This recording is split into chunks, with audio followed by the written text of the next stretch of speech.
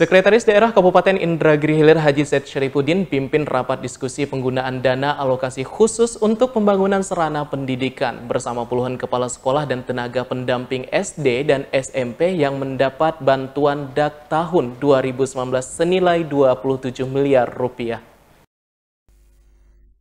Bertempat di ruang aula rapat Dinas Pendidikan Kabupaten Indragiri Hilir, Sekretaris Daerah Kabupaten Indragiri Hilir Haji Said Sarifudin memimpin rapat sekaligus berdiskusi terkait penggunaan dana alokasi khusus fisik untuk pembangunan sarana dan prasarana pendidikan bagi sekolah dasar dan sekolah menengah pertama.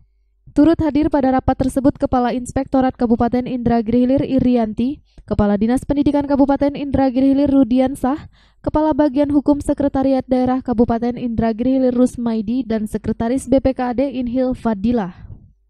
Sekretaris Daerah Kabupaten Indragiri Hilir Said Sarifudin pada wawancaranya mengatakan, rapat dan diskusi tersebut dilakukan karena adanya kekhawatiran dari para kepala sekolah untuk melaksanakan kegiatan yang berasal dari dana dak fisik tersebut. Untuk itulah dikumpulkan para kepala sekolah dari SD dan SMP beserta dinas instansi terkait untuk mencari jalan solusi apa saja yang harus dilakukan oleh para kepala sekolah. Sekretaris daerah juga menyayangkan jika kegiatan pembangunan tersebut tidak terlaksana jika melihat susahnya perjuangan yang dilakukan oleh Dinas Pendidikan untuk mendapatkan dana DAK tersebut. Ternyata memang masalah komunikasi saja yang dan perlu banyak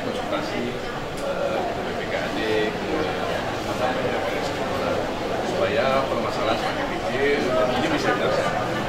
Sayang kan kalau DAK yang begitu susah kita cari, mudah-mudahan tidak bisa Tapi alhamdulillah tadi kita bisa komunikasikan semua pihak mulai dari fasilitator, kepala sekolah, dinas pendidikan, BPKAD, inspektorat, bagian hukum. Jadi kita sama-sama bagaimana bisa dana keluar, ada uh, permasalahan-permasalahan semacam itu. Dan kita minimalisir supaya bisa dilaksanakan.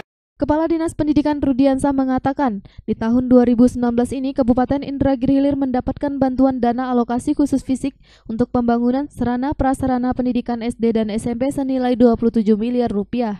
Diharapkan kepada kepala sekolah dapat memanfaatkan kesempatan tersebut dan tepat waktu dalam pengajuan dan pengerjaannya. Sementara itu, Kepala Inspektorat Kabupaten Indragiri Hilir Irianti mengatakan, Kepala sekolah diharapkan tidak perlu takut melaksanakan kegiatan pembangunan fisik sepanjang telah memenuhi aturan yang telah ditetapkan. Irianti juga menambahkan, pihak inspektorat siap mendampingi jika terdapat permasalahan yang harus diselesaikan.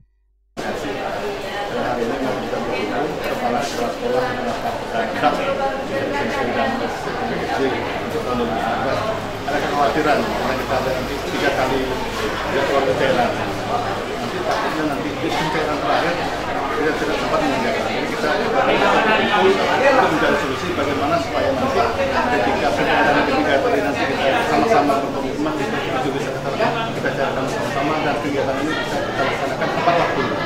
Jangan sampai nanti tanggal 31 Desember dan terakhir memang pencairan untuk tahap ketiga itu disebutkan bahwa paling lama tanggal 20 Desember kita berharap tidak tidak menunggu tunggu tanggal 20 Desember mungkin di akhir-akhir November selesai sehingga nanti dana itu juga kita, kita gunakan untuk pembangunan sarana yang memang kita butuhkan. Kepala sekolah tidak perlu takut melaksanakan kegiatan DAK eh, tahun 2019 ini sepanjang kita mengikuti aturan ketentuan yang ada.